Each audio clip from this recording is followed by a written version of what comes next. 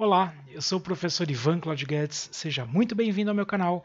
E neste vídeo eu vou aproveitar esse período de coronavírus, esse período que a gente está trancado dentro de casa, para responder dúvidas. Então deixe suas dúvidas sobre o TCC aqui nos comentários que vai ser um imenso prazer responder, principalmente em formato de vídeo, em que eu consigo me expressar melhor, em que eu consigo falar melhor.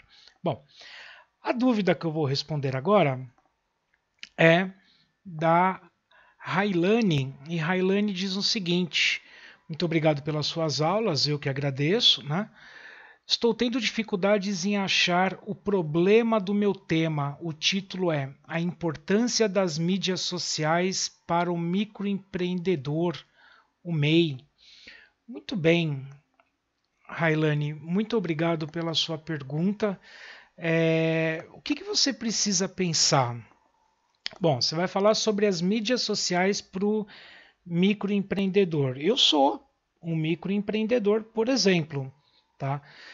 A, a importância das mídias sociais, a gente já saca né, que as mídias sociais elas são extremamente importantes para o desenvolvimento do nosso trabalho, para o desenvolvimento do nosso produto. Agora, talvez seria interessante você focar num nicho, seria interessante você fechar isso num, num, num nicho de mercado.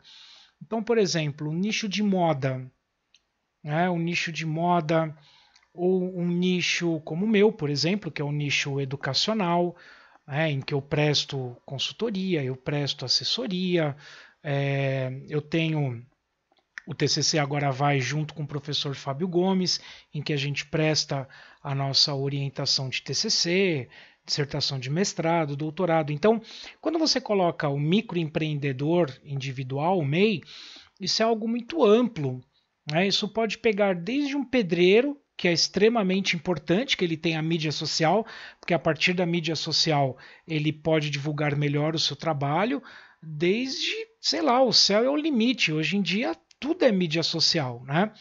Eu acho que você poderia fechar num nicho, eu acho que você poderia pegar um exemplo, um estudo de caso, um microempreendedor de individual dentro de um nicho, e aí você fazer uma análise de impacto, por exemplo. De repente você pode fazer uma pesquisação, né? Você já pensou nisso? O que é uma pesquisação? Tem um vídeo aqui no canal falando sobre pesquisação.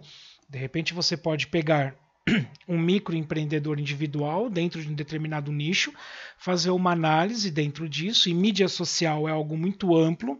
Você tem Facebook, você tem Instagram, você tem Twitter, você tem LinkedIn, é, Facebook, eu acho que eu já falei, uh, você tem o próprio YouTube, você tem várias, o Instagram, né? Hoje em dia tem gente que faz o marketing digital pelo Instagram. E tudo isso são mídias digitais. Talvez esteja muito amplo. Talvez o seu problema não esteja no problema em si.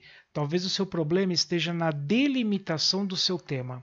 Eu entendo que o seu tema está amplo. Ah, você poderia focar em uma mídia social, você poderia focar em um nicho de mercado, e aí sim, dentro desse nicho, dentro dessa mídia social, é, você pode fazer um estudo de caso. Você pode fazer um estudo de caso, você pode fazer uma pesquisa, uma pesquisação, né? Ou eu não sei como é que está o seu prazo, de repente você vai, você vai fazer o apanhado, é, que eu acho que se torna até um pouco mais difícil, né?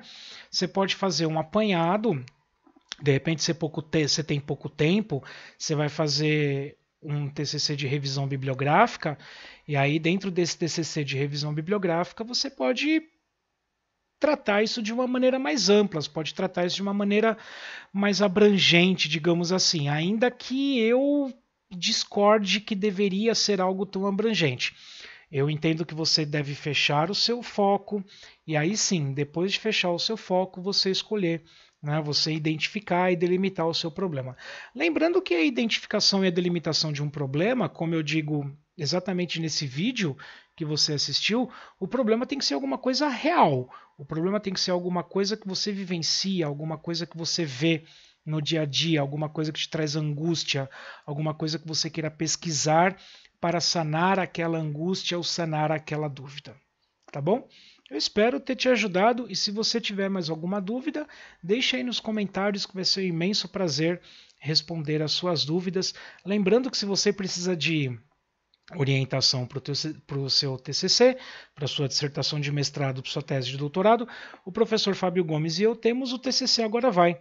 Com TCC Agora Vai, você vai ter toda a orientação por vídeo, pelo WhatsApp, né, com plantão de dúvidas, a gente faz a leitura, a gente faz a discussão, a gente faz toda a orientação do seu trabalho para que você possa fazer um trabalho com muita qualidade.